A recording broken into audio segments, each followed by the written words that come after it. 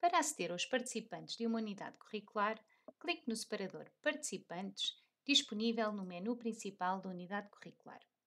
Irá surgir uma página com todos os utilizadores inscritos. Se pretender, pode usar os filtros para efetuar a pesquisa de utilizadores. No campo Utilizadores inscritos, clique na caixa Selecione e escolha a opção pretendida, como por exemplo papéis, grupos, estado, etc.